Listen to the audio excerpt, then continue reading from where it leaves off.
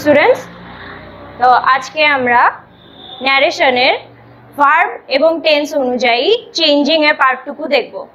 Last ক্লাসে আমরা দেখেছিলাম ন্যারেশন কি এবং ন্যারেশনের পার্সন কীভাবে চেঞ্জ হয়। সো আজকের ক্লাসটা স্টার্ট করা যাক। দেখো, এখানে আমি দুইটা সেন্টেন্স লিখে রেখেছি।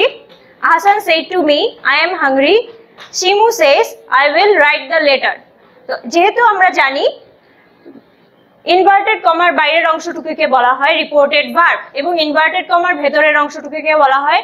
ডিরেক্ট স্পিচ বা রিপোর্টেড স্পিচ ইনভার্টেড কমার বাইরের অংশটুকুর ভার্বটুকু অর্থাৎ সেড আসান সেড ইনভার্টেড কমার বাইরের ভার্ব সেড এই ভার্বটা যে টেন্সে থাকবে ডিরেক্ট স্পিচ করা ইনডিরেক্ট স্পিচ করার সময়, অর্থাৎ ন্যারেশনকে ডিরেক্ট ন্যারেশন থেকে ইনডিরেক্ট ন্যারেশনে চেঞ্জ করার সময় এই ইনভার্টেড কমার বাইরের ভার্ব ভার্ব অনুযায়ী ইনভার্টেড কমার ভেতরের সেন্টেন্সের ভার্ব চেঞ্জ করতে হবে।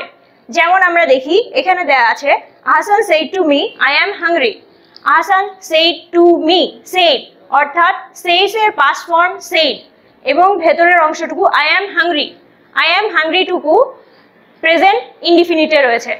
কিন্তু আমি যখন এখন ইনডিরেক্ট স্পিচ করব, সেই ক্ষেত্রে আমি ভেতরের ভার্বটা অর্থাৎ এম এই এম অংশটুকুকে বাইরের রিপোর্টেড ভার্বের ভার্ব টেন্স অনুযায়ী চেঞ্জ করে দেব। রিপোর্ট রিপোর্টেড ভার্ব যেহেতু পাস্ট টেন্সে আছে, তাই তাই ইনডিরেক্ট স্পিচে চেঞ্জ ইনডিরেক্ট স্পিচ করার সময় ভেতরের ভার্বটাও পাস্ট টেন্সে চলে আসবে। তাহলে একটু নিজেরা ট্রাই করে দেখো তো। যদি বাইরের বাইরের ভাবটা যেহেতু পাস্তে আছে, তাহলে ভেতরের ভার্বটা চেঞ্জ হয়ে কোন টেন্সে কীভাবে আসবে? নিজেরা একটু চেষ্টা করো, আমিও অ্যান্সার বলে দিচ্ছি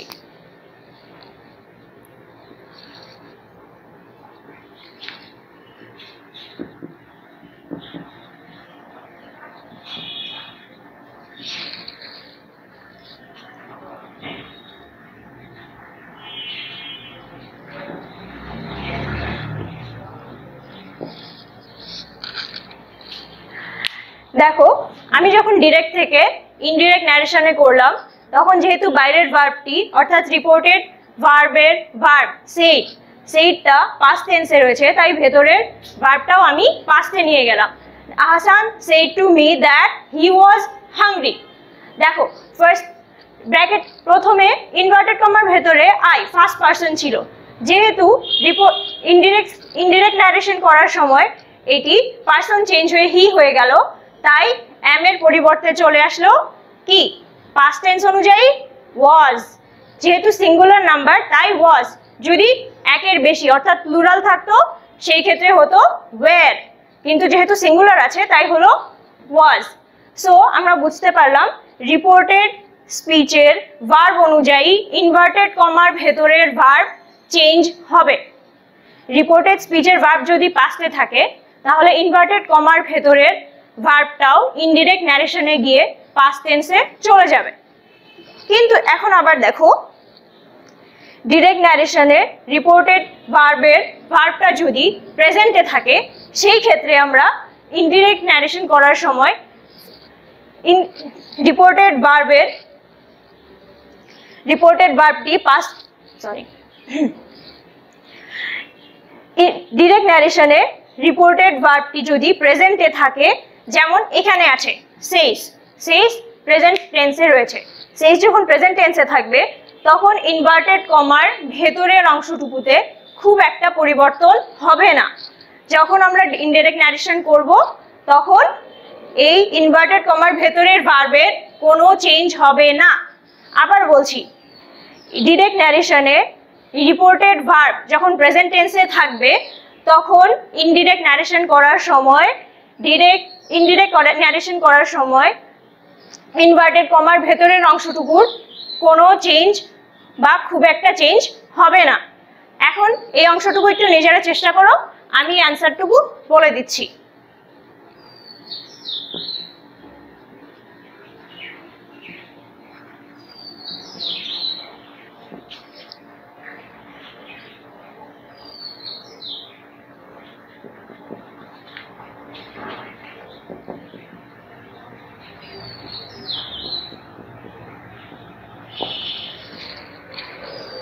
দেখো, নিজেরা চেষ্টা করেছে, তাতে কি হয়েছে? যদি না হয়ে থাকে, তাও অ্যান্সারটা দেখো। আমি ডিরেক্ট ন্যারেশনকে ইনডিরেক্ট ন্যারেশন করলাম, কিন্তু এখানে রিপোর্টেড ভার্বটা প্রেজেন্টে রয়েছে।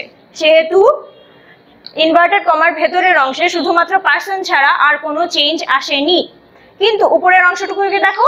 রিপোর্টেড ভার্বটি পাস্টে রয়েছে, তাই ইনডিরেক্ট করার সময় ইনভার্টেড কমার ভেতরের অংশটুকুতে পার্সন সহ ভার্বেরও চেঞ্জ হয়েছে। So Ahsan said to me that he was hungry. Ahsan says that, sorry Shimu says that she will write the letter. So আমরা বুঝতে পারলাম, যখ- যখন আমরা ডিরেক্ট ন্যারেশনকে ইনডিরেক্ট ন্যারেশনে করব, তখন রিপোর্টেড ভার্বের রিপোর্টেড ভার্ব যে টেন্সে থাকবে, সেই টেন্স অনুযায়ী ভেতরের টেন্সটি চেঞ্জ হবে। অর্থাৎ ইনভার্টেড কমার ভেতরের অংশটুকুও চেঞ্জ হয়ে আসবে।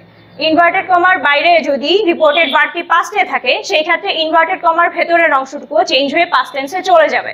কিন্তু যদি প্রেজেন্টে থাকে, তাহলে ইনভার্টেড কমার ভেতরের অংশটুকুর ইনডিরেক্ট ন্যারেশন করার সময় খুব একটা চেঞ্জ আসবে না। এখন আমরা দেখি ডিরেক্ট ন্যারেশন থেকে ইনডিরেক্ট ন্যারেশন করার সময় টেন্সের বেশ কিছু চেঞ্জ আসে, যেগুলো আমরা এখন দেখে নেব।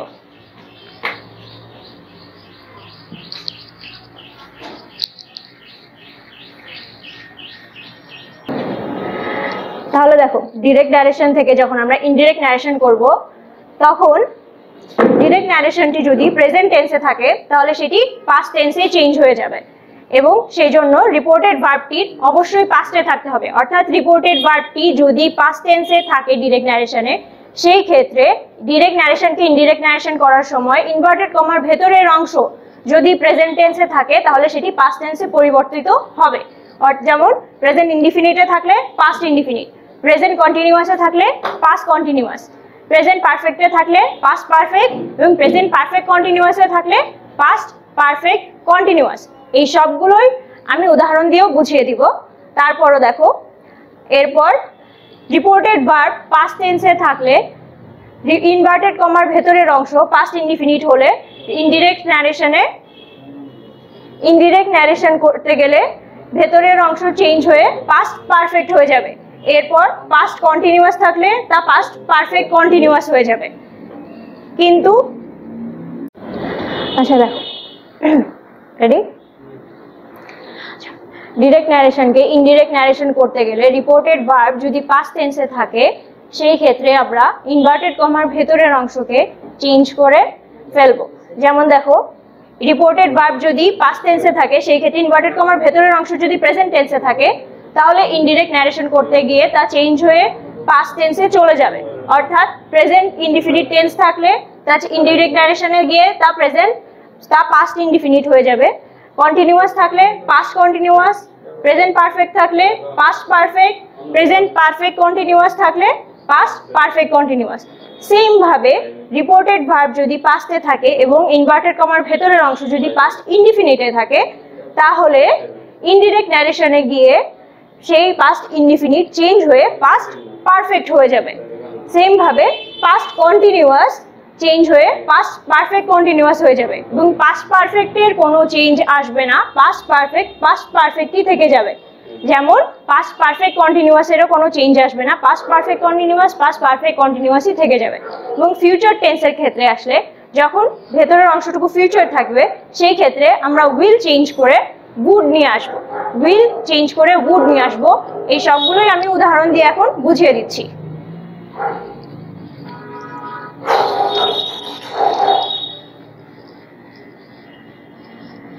দেখো, এখানে দুটি সেন্টেন্স আছে।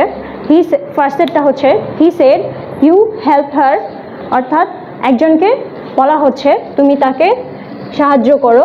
Then Hasan said to me I am writing a poem আমি একটি কবিতা লিখছি। প্রথম সেন্টেন্সটি রিপোর্টেড প্রথম সেন্টেন্সটি কোন টেন্সে আছে? বোঝার চেষ্টা করো প্রেজেন্ট ইনডিফিনিটে কিন্তু বাইরের রিপোর্টেড ভার্বটি রয়েছে পাস্ট টেন্সে সেইজের past form said past past টেন্সে এখন এই ক্ষেত্রে যেহেতু পাস্টে আছে, তাই বাইরের ভার্ব টেন্সের পাস্ট অনুযায়ী ভেতরের প্রেজেন্ট ইনডিফিনিটটি চেঞ্জ হয়ে পাস্ট ইনডিফিনিটে চলে যাবে। যদি পাস্ট ইনডিফিনিটে যায়, সেই ক্ষেত্রে এর ভেতরের কি চেঞ্জ হবে? নিজে নিজে একটু চেষ্টা করো। আমি উত্তরটি বলে দিচ্ছি। চেষ্টা করো। অ্যান্সারটি কি হয়েছে? He said that I help her you you যেহেতু সেকেন্ড পারসন এবং এখানে হি হি অন্য কাউকে রেফার করছে। তাই ইউটা ফার্স্ট পার্সনে চলে আসলো।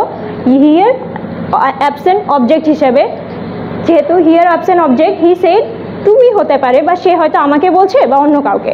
যেহেতু সেখানে আমি ধরে নিলাম, তাই যখন ইনডিরেক্ট ন্যারেশন করছি পার্সনটি চেঞ্জ হয়ে ফার্স্ট পার্সনে চলে গেল। কিন্তু দেখো ভার্বটি হি সেড সেড পাস্টে ছিল, তাই পাস্ট ইনডিফিনিটটা চেঞ্জ হয়ে সরি প্রেজেন্ট ইনডিফিনিটটা চেঞ্জ হয়ে পাস্ট ইনডিফিনিটে চলে আসলো। Help helped okay then continuous টেন্সটি দেখো। Hasan said to me I am writing a poem Hasan আমাকে বলল, কি, সে, আমি একটি কবিতা লিখছি। এখন এটাকে ইনডিরেক্ট করতে গেলে আমি কি করব? যেহেতু সে পাস্ট ফর্মে আছে এবং এটি আছে ইন ইনভার্টেড কমার ভেতরের অংশটুকু রয়েছে প্রেজেন্ট কন্টিনিউয়াস টেন্সে তাহলে সিম্পলি আমরা কি জানি প্রেজেন্ট কন্টিনিউয়াস টেন্স চেঞ্জ হয়ে পাস্ট কন্টিনিউয়াস টেন্সে চলে যায়। তাহলে এর উত্তরটি হবে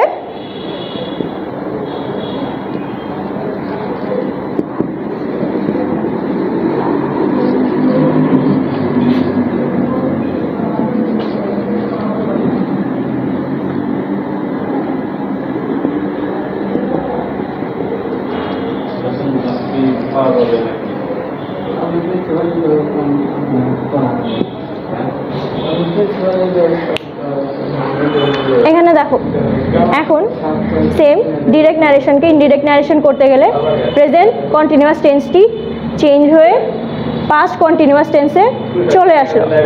অ্যাম চেঞ্জ হয়ে ওয়াজে চলে আসলো। যেহেতু ফার্স্ট পার্সন সিঙ্গুলার নাম্বার এবং হাসান হাসান কি? থার্ড পার্সনে আছে, তাই ফার্স্ট পার্সন চেঞ্জ হয়ে ফার্স্ট পার্সন যেহেতু আমরা জানি সাবজেক্ট অনুযায়ী চেঞ্জ হয়, তাই ফার্স্ট পার্সন চেঞ্জ হয়ে হিতে থার্ড পার্সনে চলে গেল এবং ভার্বটি রিপোর্টেড ভার্বের ভার্ব অনুযায়ী পাস্টে চলে আসলো।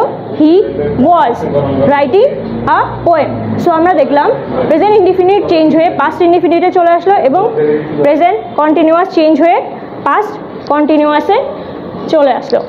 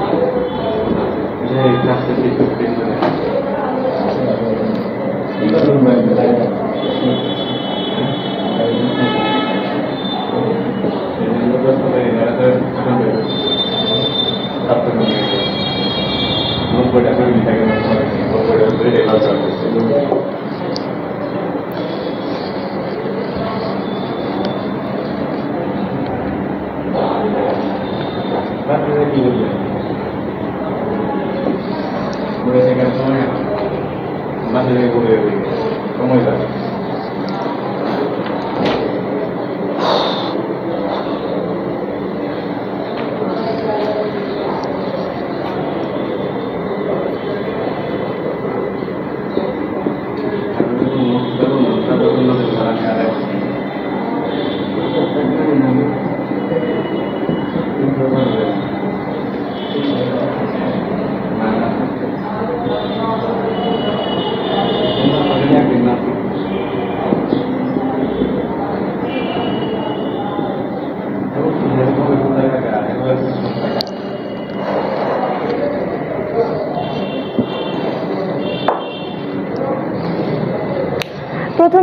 প্রথম সেন্টেন্সটি দেখো ন্যারেশনে he said to me I have cleaned the floor direct ন্যারেশনে inverted কমার ভেতরের অংশটুকু প্রেজেন্ট পারফেক্টে রয়েছে। আমরা কি জানি? প্রেজেন্ট কি? ডিরেক্ট ন্যারেশনে রিপোর্টেড ভার্ব যদি পাস্তে থাকে এবং ইনভার্টেড কমার ভেতরের অংশ যদি প্রেজেন্ট পারফেক্টে থাকে, সেই ক্ষেত্রে ইনডিরেক্ট ন্যারেশন করার সময় ইনভার্টেড কমা উঠে গিয়ে ভেতরের অংশটুকু চেঞ্জ হয়ে পাস্ট পারফেক্টে চলে যাবে। তাহলে এর উত্তরটি হবে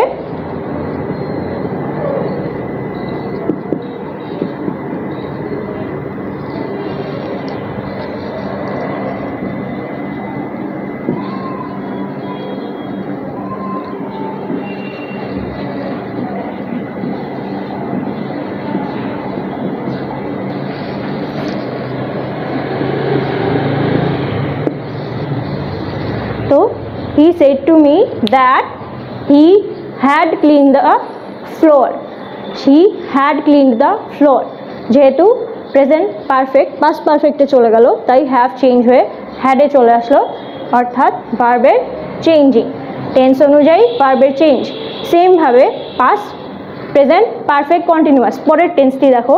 I Ayman said to Moni I have been waiting for you আমি তোমার জন্য অপেক্ষা করছিলাম। এটা প্রেজেন্ট পারফেক্ট কন্টিনিউয়াসে রয়েছে। যেহেতু আমরা জানি কি?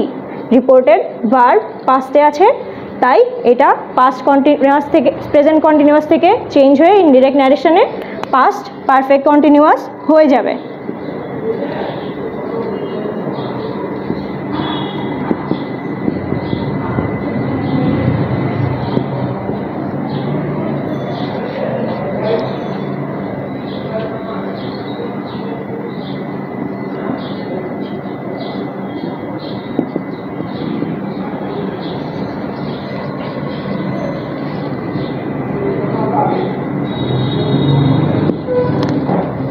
Ayman said to Moni that he had been waiting for her.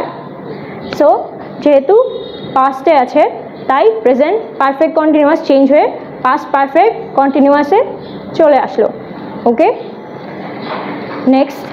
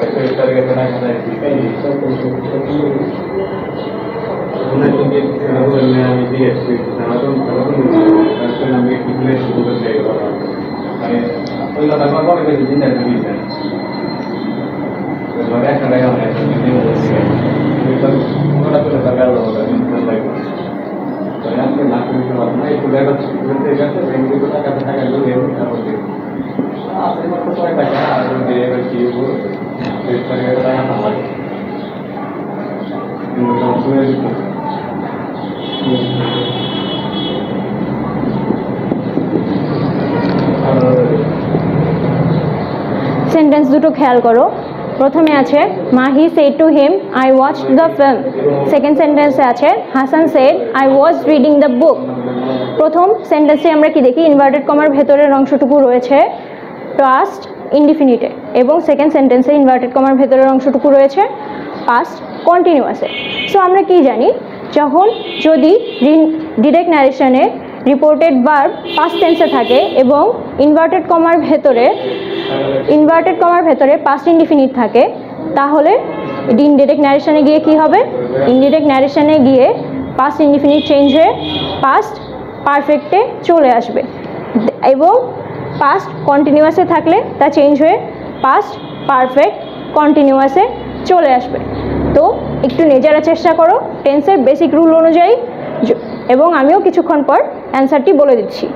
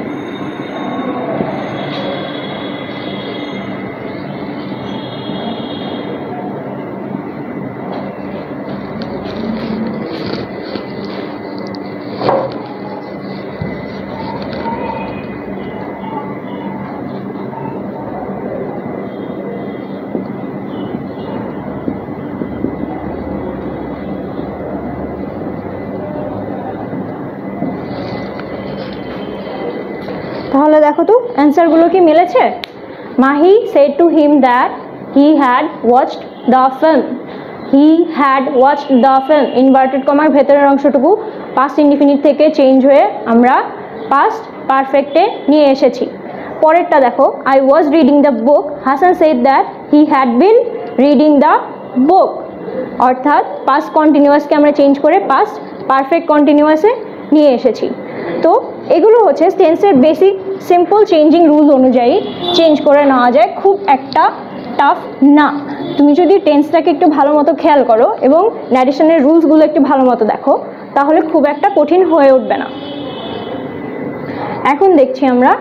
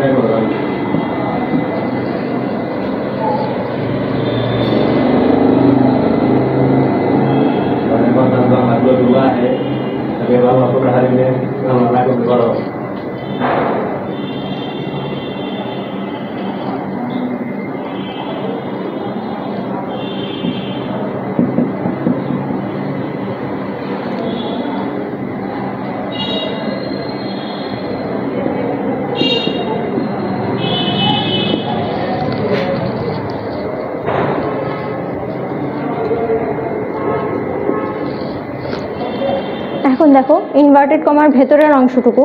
Hasan said to me I had disturbed you এবং সেকেন্ড সেন্টেন্সে Sumi said to me I had been writing a letter তো প্রথম সেন্টেন্সটি রয়েছে পাস্ট পারফেক্টে আমরা জানি past perfect থাকলে ইনডিরেক্ট ন্যারেশন করার সময় তা পাস্ট পারফেক্টই থেকে যায়, অর্থাৎ এর কোনো চেঞ্জ আসে না। সেমভাবে Sumi said to me I had been writing a letter এটা রয়েছে পাস্ট পারফেক্ট কন্টিনিউয়াসে তো পাস্ট পারফেক্ট কন্টিনিউয়াসেরও ইনডিরেক্ট ন্যারেশনে কোনো চেঞ্জ আসে না। অর্থাৎ ডিরেক্ট অর্থাৎ রিপোর্টেড ভার্ব যদি পাস্টে থাকে এবং ইনভার্টেড কমার ভেতরের অংশ যদি পাস্ট পারফেক্ট এবং পাস্ট পারফেক্ট কন্টিনিউয়াসে থাকে, তাহলে ইনডিরেক্ট ন্যারেশন করার সময় তাদের খুব একটা চেঞ্জ হবে না।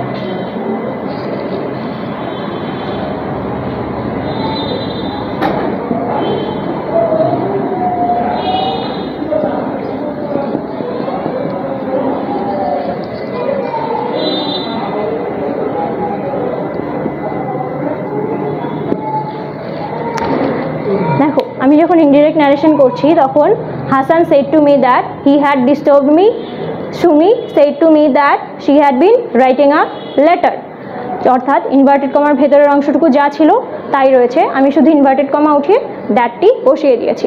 ওকে সো পাস্টে পাস পারফেক্ট এবং পাস পারফেক্ট কন্টিনিউয়াসে চেঞ্জিংয়ে খুব একটা চেঞ্জ হবে না।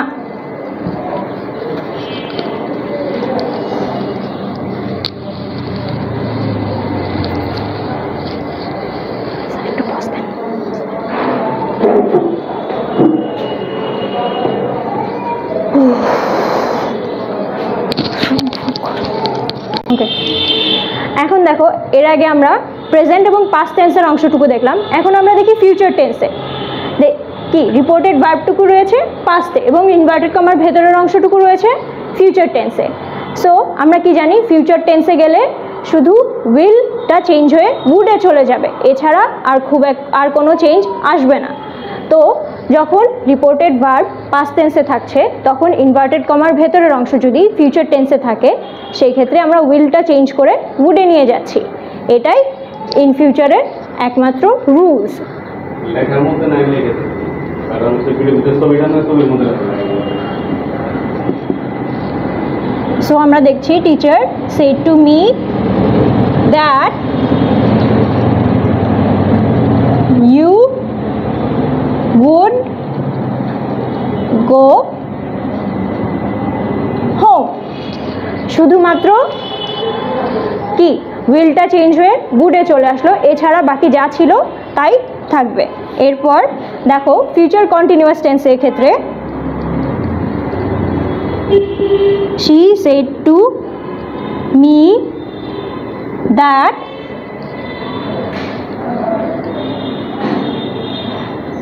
I would be আর সাত দশ মিনিট পর সেটা করে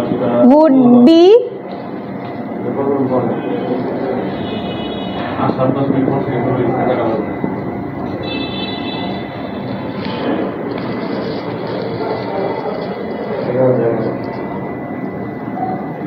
I would be eating here আমি এখানে খাব সো এখানে উইলটা চেঞ্জ হয়ে উডে চলে গেল সো এইভাবে ফিউচার ইনডিফিনিট ফিউচার কন্টিনিউয়াসে যেমন শুধুমাত্র উইল চেঞ্জ হয়ে উডে হচ্ছে, সেইভাবে ফিউচার পারফেক্ট এবং ফিউচার পারফেক্ট কন্টিনিউয়াসের ক্ষেত্রেও সেম নিয়মটাই আসবে। তারপরও আমি একবার উদাহরণ দিয়ে দেখিয়ে দিচ্ছি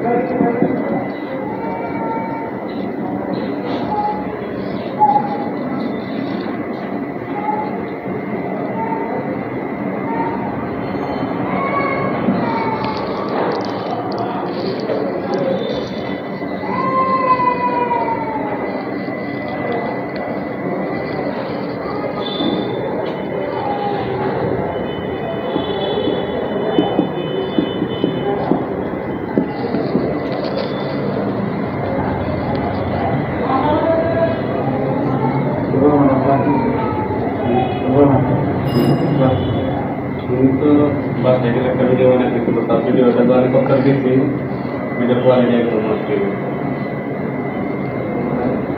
পরে নিতে পারি একটা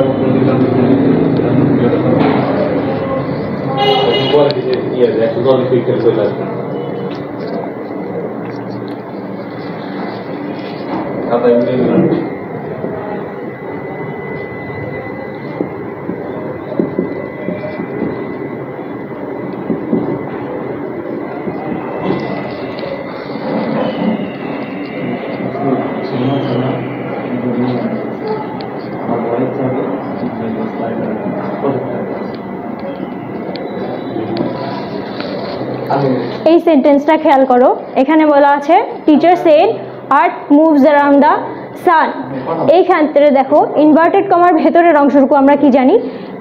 ইনএভিটেবল ট্রুথ বা চিরন্তন সত্য। অর্থাৎ পৃথিবীর সময় যতই চলে যাক, এর অর্থ কখনো চেঞ্জ হবে না, যা ছিল তাই থাকবে। অর্থাৎ এর চিরন্তন সত্য। সো এই ক্ষেত্রে রিপোর্টেড ভার্ব যদি পাস্ট টেন্সেও থাকে, তারপরও ভেতরের অংশের অর্থাৎ ইনভার্টেড কমার ভেতরের চেঞ্জের কোনো চেঞ্জ আসবে না।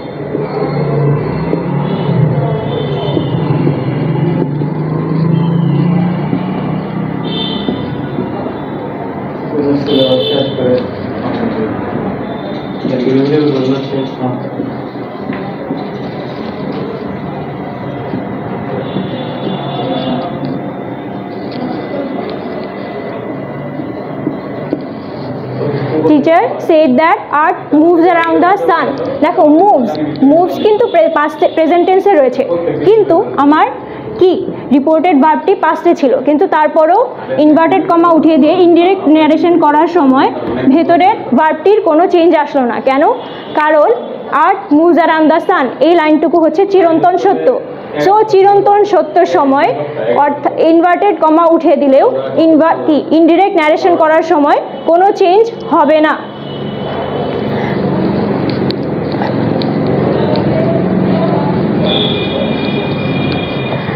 আমরা দেখি, আমরা জানি modals auxiliary can could shall should may might এগুলো। So can could shall should may might যখন ডাইরেক্ট ন্যারেশনে থাকবে, সেই ক্ষেত্রে ইনডিরেক্ট ন্যারেশন করার সময় কিছু চেঞ্জ আসবে। মডেলসের ক্ষেত্রে ক্যান থাকলে ইনডিরেক্ট ন্যারেশন করার সময় তা কুড হয়ে যাবে। মে থাকলে মাইট হয়ে যাবে। শ্যাল থাকলে শুড এবং মাস থাকলে হ্যাড টু এটা একটু ব্যতিক্রম, এর নিয়মটি আমি উদাহরণ দিয়েও বুঝিয়ে দিচ্ছি।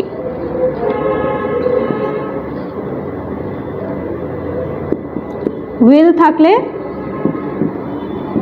would সো মডেল অক্সিলারির ক্ষেত্রে ভার্বের কিছু চেঞ্জ আসছে ডিরেক্ট থেকে ইনডিরেক্ট ন্যারেশন করার সময়। ডিরেক্টে ক্যান থাকলে ইনডিরেক্ট ন্যারেশনে কুড ডিরেক্টে মে থাকলে ইনডিরেক্ট ন্যারেশানে মাইট ডিরেক্টে শ্যাল থাকলে ইনডিরেক্ট ন্যারেশন করার সময় শুড মাস থাকলে হ্যাড টু উইল থাকলে উড এখন আমরা বাকিগুলো বাদ দিয়ে একটু মাস্টের রুলসটি দেখি। একটা দেখো ডিরেক্ট ন্যারেশনে যদি মাস থাকে সেই ক্ষেত্রে আমরা ইনডিরেক্ট ন্যারেশন করার সময় সেটিকে কি? হ্যাড টুতে পরিবর্তিত করব। কখন? কিন্তু সেই ক্ষেত্রে শর্ত হচ্ছে রিপোর্টেড বার্ডটি অবশ্যই পাস্টে থাকতে হবে।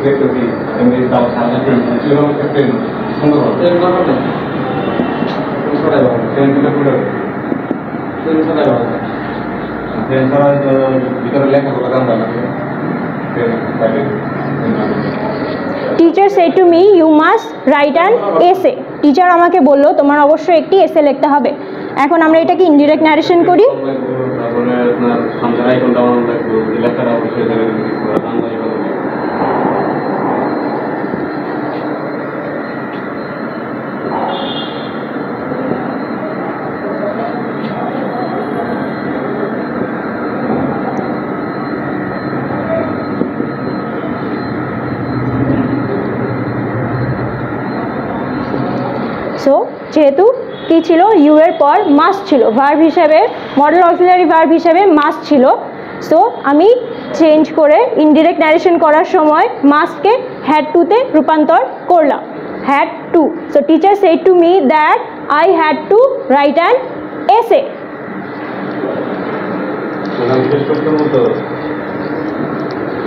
sir আর একটু, আর একটা রুলস দেখা শেষ দিয়ে দেবো। বেশি টাইম নিতেছি আধা ঘণ্টা মতো হয়ে গেছে আচ্ছা। কিন্তু দেখো, মাস সকল সময় হ্যাড টু হবে না।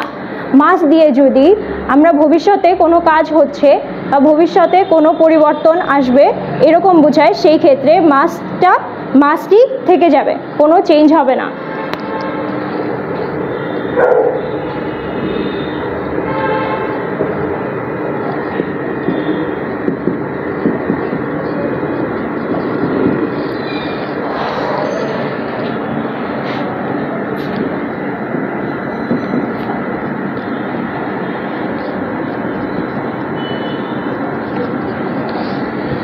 এখানে দেখো teacher said to me you must obey elders এখানে বলা হয়েছে, মাস দিয়ে বোঝানো হয়েছে কোনো কাজ যেটাকে আমাদের অবশ্যই পালন করতে হবে এবং কোনো যেটাকে আমরা অবশ্যই মেনে চলবো।